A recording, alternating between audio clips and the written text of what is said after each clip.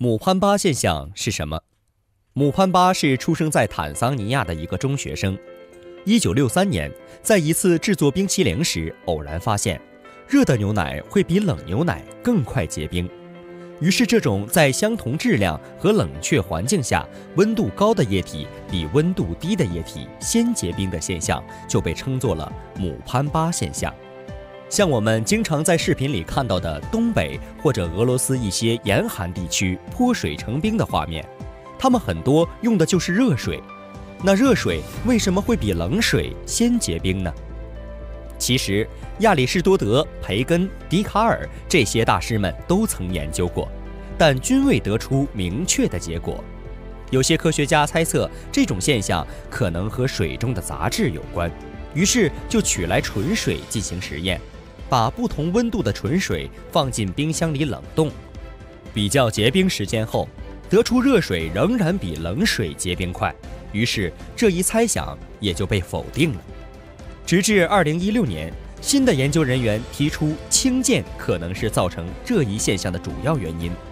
水的化学式是 H2O，水分子间的氢键长度会因水温产生变化。冷水中氢键较短，热水中较长。如果我们把氢键比作是拉伸的弹簧，那么拉伸的越长，它回缩的速度就会越快。因此，这种解释也成为了目前的主流观点。但这仅仅是观点，其真正的原因还有待科学家们进一步考证。的现象吗？一张纸最多可以对折几次？一张普通 A4 纸的厚度大约为零点一毫米。面积为二百一十毫米乘以二百九十七毫米，在不考虑外界因素的情况下，每将 A4 纸对折一次，纸张的厚度就会增加为原来的一倍，而面积会减少为原来的一半。生活中，一张 A4 纸最多可以对折七次，折叠后纸张层数为一百二十八层，也就是二百五十六页，这个厚度相当于一本书的厚度。当对折第八次的时候，这就好比把一本书对折。A4 纸已经很难再对折下去。若在理想情况下，将纸张对折四十二次，折叠后纸张厚度可达四十二万公里。这个厚度已经超过了地球与月球之间的距离三十八点四万公里。将纸张折叠一百零三次，已经超过九百三十亿光年，足以突破目前可观测宇宙的边界。当纸张同向对折时，排除对折过程中纸的反抗张力影响、纸的厚度影响外，一张纸能对折多少次，最关键的是取决于纸的长度。如果把纸张反向对折，则需要更大长度的纸。一张长一千一百米、厚度为零点零七毫米的新闻纸，最多可以对折十一次。二零零二年，在美国德克萨斯州圣马克中学的师生们用长度为四公里的厕纸对折了十三次。创造了纸张对折最多次的世界吉尼斯纪录。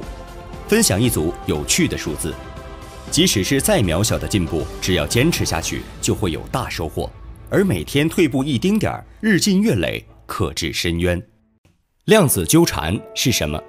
量子纠缠是一种在经典力学中不存在的，只发生于量子系统中的现象。当几个粒子在相互作用后形成为一个整体时，这些粒子所拥有的特性就会综合为整体的性质，这就叫做量子纠缠。此时，一个粒子发生的所有情况都会立即影响到其他粒子。如果我们说两个电子处于量子纠缠，那就意味着当我们对其中一个电子进行测量时，改变了这个电子的量子态，另外一个电子的量子态也会立即发生变化。尽管我们并没有对另外一个电子进行测量，尽管这两个电子可能距离非常遥远，这就是为什么有人形容量子纠缠就像是人与人之间的心灵感应。爱因斯坦把量子纠缠斥为鬼魅般的超距作用，不可能有比光传播速度还快的物质，并以此来驳斥量子力学的不合理之处。然而，停留在理论阶段的争论并不能让人信服，于是就出现了薛定谔的猫。在我们没有打开盒子之前，薛定谔的猫是只既死又活的猫，这种状态就叫做量子叠加态。微观物质会以波的叠加混沌态存在。如果我们打开盒子进行观测，猫构成的波函数会由叠加态立即塌缩到某一个本征态。微观物质也会立刻选择成为粒子，那么猫就会随机产生生或者死两种情况。这个实验把微观量子行为拿到了宏观世界来推演，猫的死活就像是处于量子纠缠的两个粒子。二零一七年，我国研发的量子力学实验卫星“墨子号”发现，两个量子纠缠的光子被分发到相距超过一千二百公里的位置后，仍可以继续保持其量子纠缠。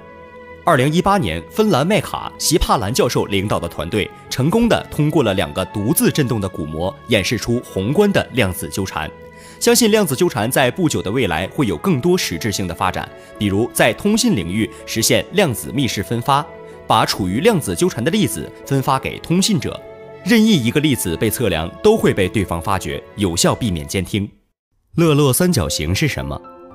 勒洛三角形是一种特殊的圆弧三角形，由德国机械学家勒洛于19世纪首次发现并命名。画一个正三角形，然后分别以三角形的三个顶点为圆心，三角形的边长为半径，画三个圆。这三个圆相交的部分就被称为勒洛三角形。由勒洛三角形构成的三维立体结构改良后，可以得到麦斯纳四面体。将书本放在麦斯纳四面体上，移动书本，有趣的一幕发生了。我们可以发现，书本可以平滑地移动，并没有出现颠簸感，看起来就像是把书本放在普通的圆球上移动一样。换一杯水放在麦斯纳四面体上，移动水杯。水杯可以平稳地移动，杯子里的水也不会洒出。将勒洛三角形放在与它相切的两条平行线中，不管勒洛三角形怎么运动，它始终保持在两条平行线内运动，并且与其相切。也就是说，勒洛三角形和圆形一样具有定宽性。像这样具有定宽性的曲线，我们称之为定宽曲线。这也是井盖为什么大都是圆形的原因。当然，美国旧金山就有我们所提到的勒洛三角形井盖。不仅如此，二十世纪五十年代，德国工程师汪克尔利用三角转子旋转运动原理制造出一款特殊的发动机。随后，马自达公司斥巨资买下了这项技术，研发出了著名的转子发动机。鲁珀特之泪是什么？将融化的玻璃在重力作用下自然滴入冷水中，就可以得到一个尾部细长、头部圆润的玻璃制品。早在17世纪的巴达维亚，人们制作出来这种形状独特的艺术品，并将其送给了当时的鲁珀特王子。后来，鲁珀特王子又将它献给了英格兰查理二世，因此得名鲁珀特之泪。就是这样一个小小的鲁珀特之泪，却足足困扰了科学家们将近四百年。鲁珀特之泪的头部非常坚硬，子弹都无法打穿，但细长的尾部却十分脆弱。这样一个特殊的结构，到底是什么原因形成的呢？从末世硬度上看，玻璃的末世硬度为六到七之间，远大于铜、钢。而融化的玻璃在接触冷水时，表面的冷却速度大于内部的冷却速度，从而使表面向内形成一种强大的抗压应力。但这种压应力会被内部的拉应力抵消，从而使鲁珀特之泪能够保持稳定，足以承受巨大的外力冲击。但是鲁珀特之泪也有它的致命缺点，那就是它纤细的尾巴。只要稍稍用力捏一下鲁珀特之泪的尾部，它的头部就会瞬间爆裂粉碎。这种碎裂原理叫做裂纹扩展。裂纹扩展指的是材料在外界因素作用下，先产生裂纹核，再延伸开来的过程。当纤细的尾部破裂时，导致了鲁珀特之泪内部受力的不平衡，裂纹就会瞬间传遍整体，使其全部粉碎。而且在这个过程中，裂纹传递速度非常之快。可达每秒一千四百五十米到一千九百米，这个速度是声速的五倍。从物理的角度来看，这种奇特现象的产生，探其本质，也正是玻璃材料自身的硬度特性和鲁珀特之泪特殊的力学架构综合影响的结果。其实，鲁珀特之泪除了外形浪漫，它的物理特性也和爱情有几分相似之处。爱情里有着能够对抗全世界的勇气和坚定。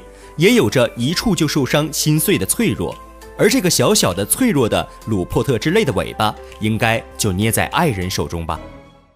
永动机是什么？永动机就是一种不需要任何外界能量输入，或者只需要一个初始能量就可以一直运动下去的机器。这个想法一经提出，就引起了很多人的关注。十三世纪，一位叫亨内考的法国人提出了一种永动机的设计方案，被称作摩轮。它的主体是一个会转动的轮子，轮子的边缘均匀安装了十二个短杆，每根杆子的端点都有一个铁球。亨内考认为，轮子左右两边球体的力矩不同，因此可以带动轮子持续转动。然而，实际情况是，力矩大的一端铁球的个数少，轮子并不会一直运动，摆动几下便会停止下来。这个方案虽然失败了，但是人们始终没有放弃对永动机的研究。后来又陆续出现了水力永动机、磁力永动机等等，无一不以失败告终。时间到了十九世纪中叶。在科学家们的不断努力下，伟大的能量守恒定律被发现了，即能量不会凭空产生，也不会凭空消失，只能从一种形式转化为另一种形式，或者从一个物体转移到另一个物体，而能量的总和是保持不变的。这条原理的提出，使制造永动机的梦想彻底粉碎。这时，又有人提出，能不能不违反能量守恒定律，从海洋或者大气中吸取能量，转化为机械功呢？这就是第二类永动机。然而，经过大量的实验证明，1851年英国物理学家开尔文提出的另一条普遍原理，即物质不可能从单一的热源吸取热量，使之完全变为有用的功而不产生其他影响。至此为止，第二类永动机的幻想也破灭了。其实，早在1775年，法国科学院就不再审查关于永动机的一切设计了。现在已经是二十一世纪了，虽然科技的发展日新月异，但毋庸置疑的是，永动机还是不可能实现。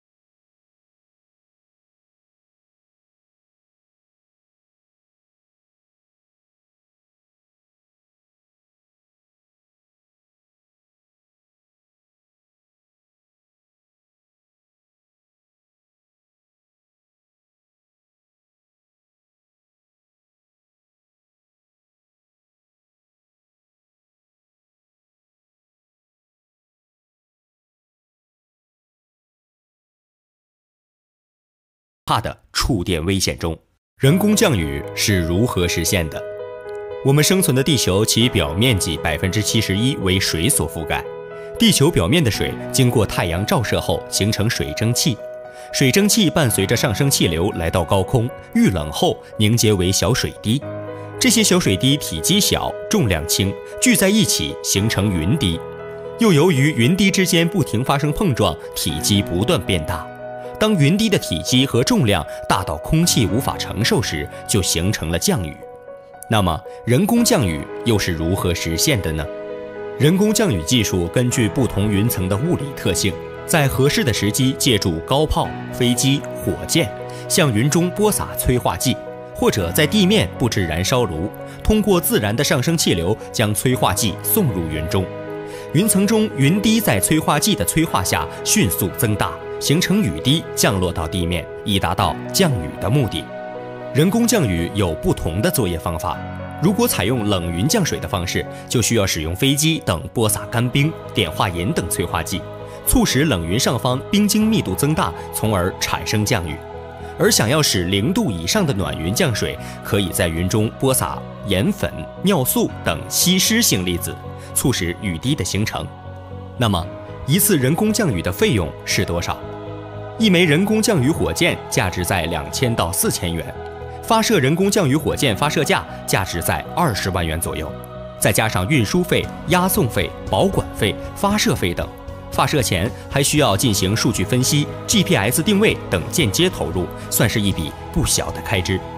当然，并不是所有的地区干旱都可以通过人工降雨解决。目前的技术只能实现人工降雨，还不能实现人工造雨。只有在云层本身已经降水或者即将降水的情况下，人工干预才能发挥作用。因此，降雨前对降雨效果的预测显得尤为重要。我国最早实现人工降雨是在一九五八年，对当时的吉林省面临六十年未曾遇到的大旱起到了非常有效的作用。从最初的试验到如今现代化的技术应用，人工降雨已经成为我国抗击旱灾的主要方式之一。人类通过自己的努力，使耕耘播雨不再只是神话。反物质是什么？反物质就是与正常物质状态相反的物质。比如原子的原子核带正电，核外是带负电荷的电子，而在反物质的世界里，它是由带负电的原子核和带正电的电子构成的。也就是说，一切可以相反的性质都会相反。最早提出正电子存在的是英国物理学家狄拉克，他从理论上论证了正电子的存在。一九三二年，美国物理学家安德森通过实验证实了正电子的存在。一九五五年。物理学家赛格雷、张伯伦等人发现了反质子。一九五六年，美国物理学家考克又发现了反中子。渐渐的，人们意识到，不仅仅是电子、质子、中子，所有微观粒子都有相对应的反粒子。反粒子的发现也让人类渐渐接近反物质的世界。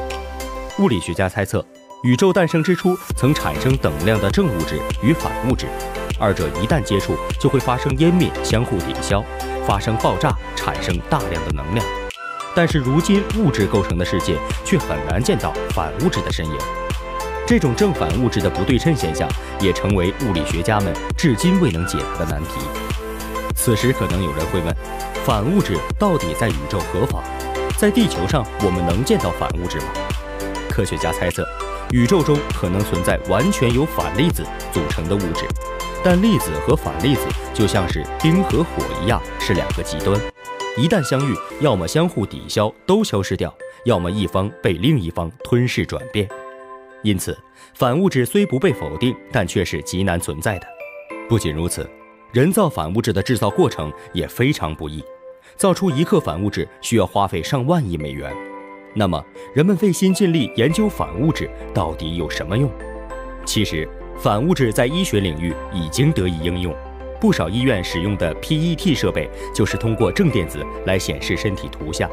除此之外，正反物质相撞时产生的能量巨大，一克反物质释放的能量相当于四点三万吨 TNT 炸药爆炸时产生的能量，而且转化率为百分之百，没有任何残留。因此，反物质不仅仅是研究宇宙起源的关键，也是潜在的巨大能源。如果以后能加以利用，相信科幻电影里的世界很快就能照进现实。